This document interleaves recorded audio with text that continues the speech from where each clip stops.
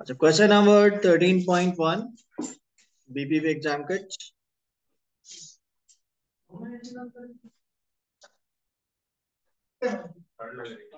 okay question read कर लें Lennox, a sole trader, has calculated that his cost of sales for the year is one lakh forty four. Cost of sales. ये लगा मैंने नहीं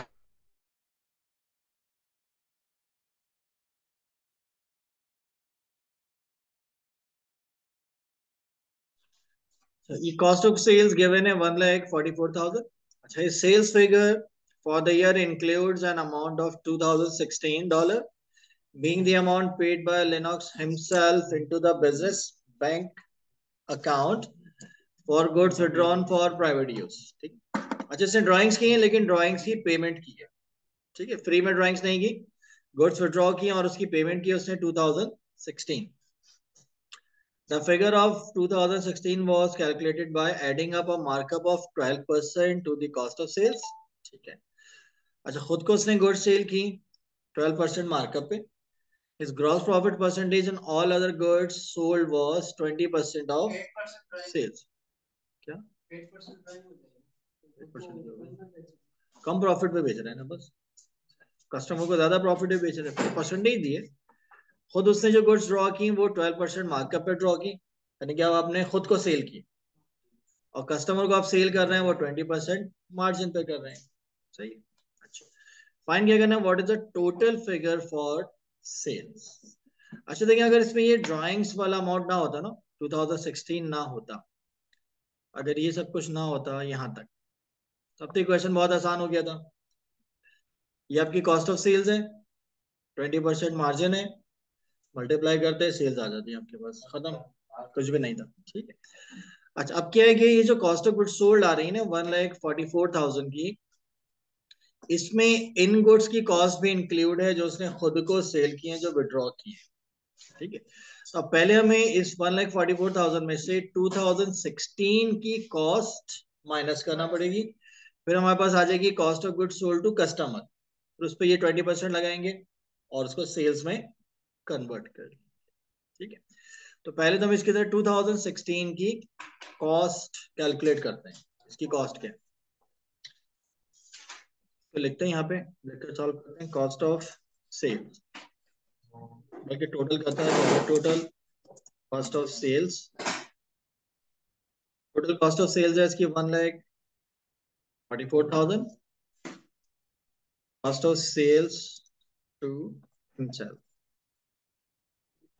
अब हम calculate करेंगे cost of sales to himself तो आगे कर देता हूँ इसने खुद को गुड सेल की 2016 की और इसके मार्कअप है 12 परसेंट का। अच्छा मार्कअप में क्या होता है? कॉस्ट 100 परसेंट मार्कअप 20 परसेंट तो सेल्स 112 हो जाएगी 112 112 अब इसे मल्टीप्लाई करेंगे हम हंड्रेड से और डिवाइड कर देते हैं वन हंड्रेड ट्वेल्व से इसकी कॉस्ट आ जाएगी ना। कैलकुलेट करें। Eighteen hundred? अच्छा माइनस कर दें। One forty two. Two two hundred. ये आ जाएगी हमारे पास cost of sales to customer ठीक है? अच्छा ये हमने cost of sales to customer find कर अब हम सेल्स हमें फाइंड करनी है, तब लिखेंगे सेल्स टू कस्टमर कॉस्ट कितनी है? One lakh forty two thousand hundred और इसको सेल्स में कन्वर्ट करते हैं तो अब यहाँ देखें मार्जिन कितना है? ट्वेंटी परसेंट मार्जिन में सेल्स हंड्रेड परसेंट होती है। मार्जिन ट्वेंटी तो कॉस्ट एटी परसेंट अब इसे मल्टीप्लाई करेंगे हंड्रेड से डिवाइड कर देंगे एटी से। One triple seven five zero और अब लिखते हैं तो सेल्स टू हिमसेल्फ दोस्तों सेल की 2016 की सेल की, दोनों को ऐड कर लेंगे। तो हमारे पास आ जाएँगी total sales seventy nine seven double six we are getting cost total sales sir answer होगा आपका आंसर ऑप्शन सी होता है। करेक्ट आंसर ऑप्शन सी ठीक है? कॉपी कर लें। अच्छा क्वेश्चन था। ओके थ्री थर्टी फाइव इसमें हम बनाएँगे टी अकाउंट चार टी अकाउंट बनाते हैं।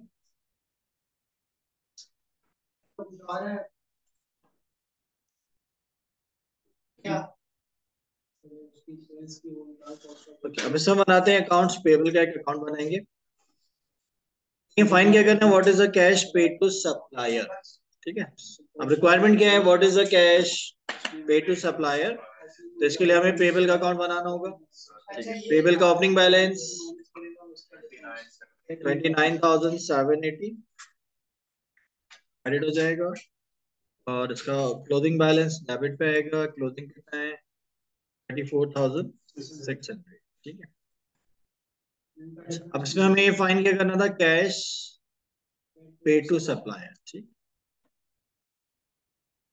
कैश पे करते हैं तो पेमेंट कंट्री क्या होती है? अकाउंट पेबल डेबिट और कैश क्रेडिट होता है। अकाउंट पेबल डेबिट हो। गया जब कैश पेड फाइन करने के लिए एटलीस्ट हमें जो होता पेबल में और क्या क्या आता है? अकाउंट पेबल में और क्या क्या आता है? परचेजेज और purchase return cash paid discount received set off control account याद है? तो फ़िलहाल इस क्वेश्चन में ऐसी कोई इंफॉर्मेशन नहीं है। तो अब हमें एटलीस्ट परचेजेस तो चाहिए होगी ना। तभी ये अकाउंट आपका कंप्लीट होगा। तो अब पहले हमें परचेजेस फाइन करना होंगे उसके बाद हम कैश पेड कैलकुलेट कर लेंगे। अच्छा परचेजेस के लिए हमें यहाँ देखें ओपनिंग इन्वेंट्री दी है क्लोजिंग इन्वेंट्री दी है तो उसको यूज़ करते हुए हम परचेजेस फाइन करें। इन्वेंट्री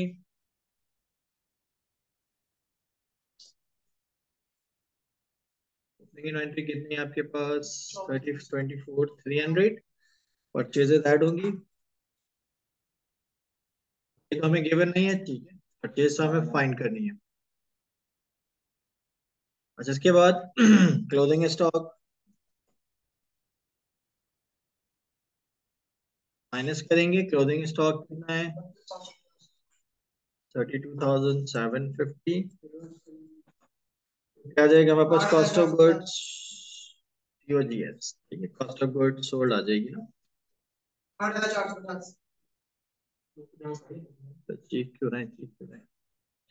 अच्छा cost of good sold given नहीं है अब अभी हमें कैलकुलेट करना होगा। कॉस्ट ऑफ़ गुड सोल्ड हम कैलकुलेट करेंगे सेल्स से। सेल्स कितनी है सिक्स लैख ट्वेंटी थाउज़ेंड अच्छा यहाँ पे मार्कअप दिया हुआ था फोर्टी परसेंट का तो मार्कअप में कॉस्ट होती है हंड्रेड परसेंट मार्कअप फोर्टी तो sales one forty percent multiply करते हैं हंड्रेड डिवाइड करेंगे वन फोर्टी से फोर लैख फिफ्टी थाउज़ेंड आगे कॉस्ट ऑफ़ गुड्स सोल्ड तो यहाँ पुट करते हैं फोर लैख फिफ्टी थाउज़ेंड अब रिवर्स वर्किंग करेंगे. रिवर्स कैलकुलेशन होगी, ये हो जाएगा four lakh eighty two thousand seven fifty और four eighty two seven fifty से ओपनिंग स्टॉक माइनस करेंगे. Four lakh fifty three thousand purchases आ गई? अब ये परचेजेस को यहाँ पोस्ट करते हैं लेजर में। Four lakh fifty three thousand five hundred sixty four five eight four five zero four five eight four five zero four five eight four five zero purchases आ गई। Four five eight four five zero. अब credit side का total करेंगे। Four double eight two three zero four double eight two three zero. और इसमें से carry down minus कर देते हैं। टोटल में से कैरी डाउन माइनस करें तो कैश पेड आ जाएगा हमारे four fifty three six thirty. तो कैश पेड हो गया four lakh fifty three thousand six thirty. तो ऑप्शन बी करेक्ट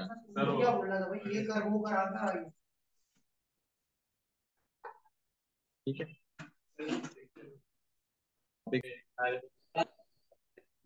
सारे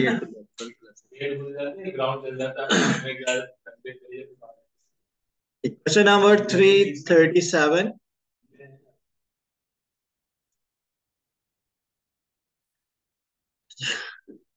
question number three thirty seven इसमें भी हम बनाएँगे टी अकाउंट्स दो टी अकाउंट्स बनेंगे।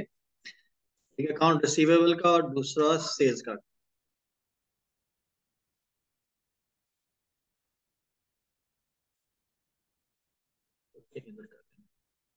ठीक है बनाते हैं अकाउंट रिसीवेबल और cash cash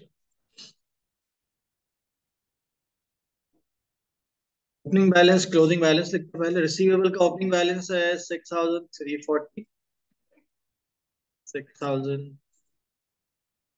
three forty और रिसीवेबल का क्लोजिंग बैलेंस है five thousand two hundred cash का ओपनिंग बैलेंस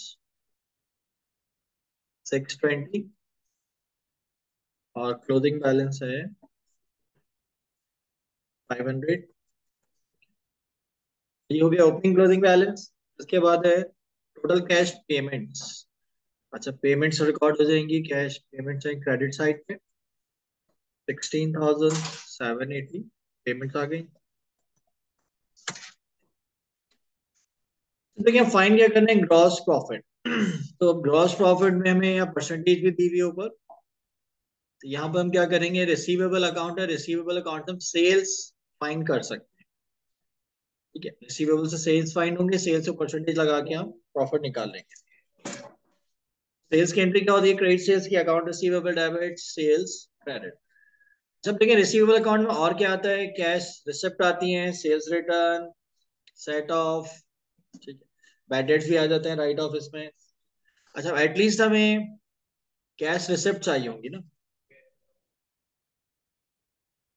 अब हमें रिसिप्ट आई होंगे एटलीस्ट उसके बाद हम सेल्स फाइन क्या हो गया स्पेलिंग को? रिसिप्ट ठीक। अच्छा रिसिप्ट कहाँ से आएँगे अब? कैश अकाउंट से? कैश अकाउंट को बैलेंस करेंगे पहले। क्रेडिट का टोटल आ गया सेवनटीन थाउज़ेंड ट्वेंटी तो सिक्स ट्वेंटी माइनस करें। सिक्सटीन थाउज़ेंड सिक्स सिक्सटी अच्छा ठीक है, अभी रिसिप्ट किया रिसीवेबल अकाउंट में क्रेडिट कर देंगे रिसिप्ट को। टोटल हो गया twenty one thousand eight sixty twenty one thousand eight sixty opening balance minus करें। फिफ्टीन थाउज़ेंड फाइव आ जाएँगी। क्रेडिट सेल्स अच्छा हमें मालूम करना है profit gross profit. Minus cost of goods sold है ही नहीं। सेल्स को डायरेक्ट परसेंटेज से मल्टीप्लाई कर देना। 25 परसेंट ऑन कॉस्ट है। कॉस्ट हाँ तो डिवाइड कर देंगे 125 से। 125 25 परसेंट कॉस्ट ऑफ़ सेल है ना मार्कअप तो मार्कअप में कॉस्ट 100 होती है प्रॉफिट 20 है तो सेल्स 125 25 है तो 100 310 तो बता ना जो वैल्यू फाइंड करनी है, उसके परसेंटेज से मल्टीप्लाई करते हैं। जो वैल्यू गिवन है, उसके परसेंटेज से डिवाइड कर देते हैं। तो प्रॉफिट फाइंड करना है प्रॉफिट ट्वेंटी फाइव परसेंट है तो जो वैल्यू फाइंड करनी है, उसकी परसेंटेज से मल्टीप्लाई प्रॉफिट फाइंड करना है प्रॉफिट परसेंटेज कितनी है? ट्वेंटी फाइव और जो वैल्यू गिवन है, उसकी परसेंटेज से डिवाइड गिवन यहाँ पर क्या था? सेल्स मार्कअप में क्या होता है? प्रॉफिट कॉस्ट हंड्रेड परसेंट होती है प्रॉफिट ट्वेंटी फाइव है तो सेल्स वन ट्वेंटी फाइव हो जाएगी सर आंसर होगा ऑप्शन करेक्ट आंसर